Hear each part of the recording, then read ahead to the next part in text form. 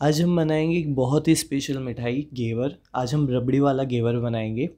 घेवर बनाना लगता है कि बहुत मुश्किल काम है, लेकिन ऐसा कुछ नहीं है। घेवर बहुत आराम से बन जाएगा। बस दो चार छोटी छोटी ट्रिक्स है जो आपको फॉलो करनी है।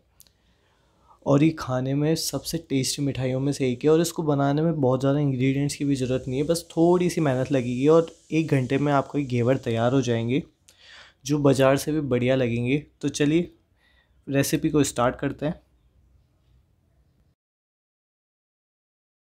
तो सबसे पहले हम घेवर का बैटर बनाएँगे। उसके लिए चाहिए हमें एक मिक्सी का जार। मिक्सी के जार में हम डालेंगे चार छोटे चम्मच देसी घी। जो खाने वाले नॉर्मल चम्मच होते हैं, वो भर के आपको चार छोटे चम्मच देसी घी लेना है। घी डालने के बाद हम इसमें डालेंगे चार से पाँच आइस क्यूब्स बर्फ़ डालने के बाद हम इसको 10 से 20 सेकंड के लिए मिक्सी में चला लेंगे। घी बिल्कुल एकदम सफ़ेद मक्खन जैसा हो चुका है। अब हम इसमें डालेंगे एक कटोरी भर के एकदम ठंडा दूध और इसको 10 सेकंड के लिए और मिक्सी में चला लेंगे। तो हमारा जो घी है वो बिल्कुल ऐसा वाइट मक्खन जैसा हो जाना चाहिए।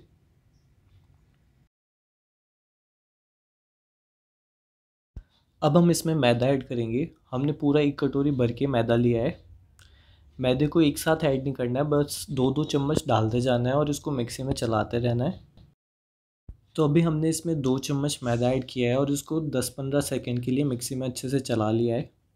तो अब हम इसमें दो चम्मच मैदा और ऐड करेंगे और इसको वापस 10-15 सेकंड के लिए मिक्सी में चलाएँगे। ऐसे थोड़ा थोड़ा करके हमें मैदा डालते रहना है और इसको मिक्सी में चलाते रहना है। यही प्रोसेस हमें बार बार करते जाना है जब तक हमारा मैदा पूरा ख़त्म नहीं हो जाए। मैदा डालते डालते थोड़ा सा ये जो बैटर है, वो हार्ड हो जाएगा, इसलिए हम इसमें डालेंगे एकदम चिल्ड पानी। आपको एकदम चिल्ड पानी का यूज़ करना है। आप दूध भी जो लेंगे वो भी बिल्कुल चिल्ड चाहिए और पानी भी एकदम ठंडा होना चाहिए। बाकी बचा हुआ मैदा में हम इसमें डाल के इसको मिक्सी में चला लेंगे। तो हमारा बैटर बिल्कुल तैयार है। बस इतना ही पतला हमें बैटर चाहिए, एकदम लिक्विड पानी जैसा।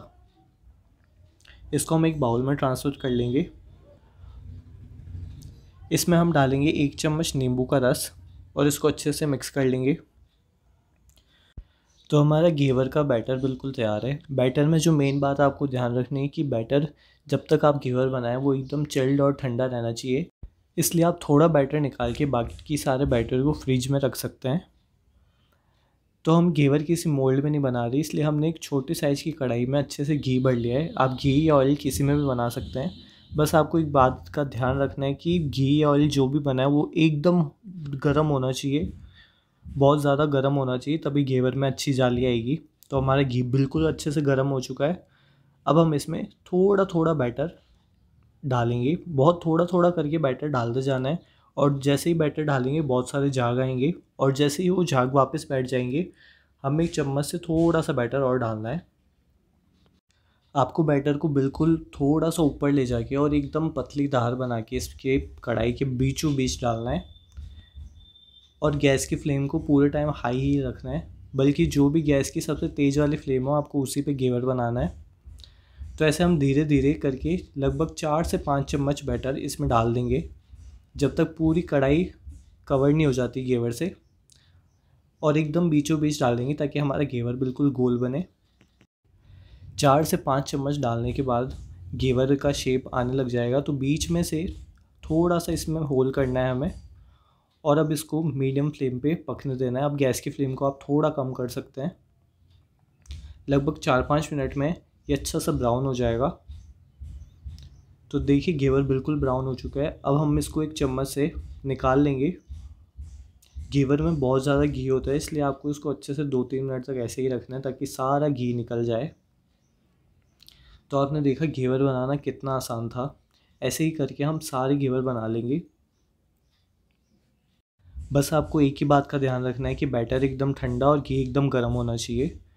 तो हमने जो एक कटोरी मैदे से बैटर बनाया था, उससे चार से पाँच घेवर बन के तैयार हो जाएँगे। अब फटाफट हम इसके लिए रबड़ी बना लेते हैं। उसके लिए कढ़ाई में हम डालेंगे लगभग आधा लीटर दूध। ये फुल फैट दूध है और इसको कढ़ाई में डाल के लगभग दस मिनट तक हमें उबालना है। दूध को उबलते हुए सात आठ मिनट हो चुके हैं। अब हम इसमें ऐड करेंगे आधा कटोरी चीनी। घेवर की रबड़ी इतनी मीठी नहीं होती, इसलिए चीनी हम इसमें कम डालेंगे। इसको अच्छे से मिक्स करेंगे। अब हम इसमें डालेंगे आधा चम्मच इलायची पाउडर और बहुत थोड़ा सा केसर। आपकी रबड़ी वाला पूरा पार्ट स्किप कर सकते हैं और घेवर को सिर्फ़ चाशनी में भी खा सकते हैं, वो वैसे भी बहुत डिलीशियस लगता है।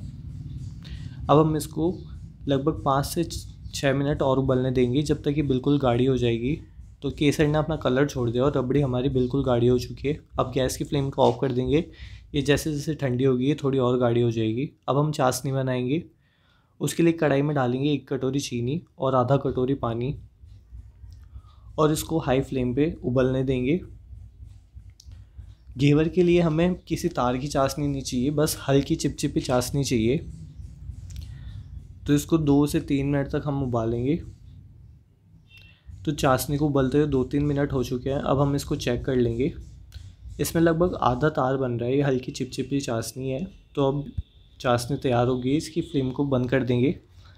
अब हम हमारे घेवर को प्रिपेयर करेंगे। तो हम एक प्लेट लेंगे, उसके ऊपर एक कटोरी रखेंगे और उसके ऊपर हमारा घेवर। घेवर के ऊपर हम धीरे धीरे चाशनी डालेंगे। चाशनी को अच्छे से चारों तरफ़ घेवर में कोट करना है। आप घेवर को एक हफ़्ते तक रख सकते हैं और उसके ऊपर गरम गरम चाशनी डाल के कभी भी खा सकते हैं। तो हमने इस पे अच्छे से चारों तरफ़ चाशनी डाल दी है।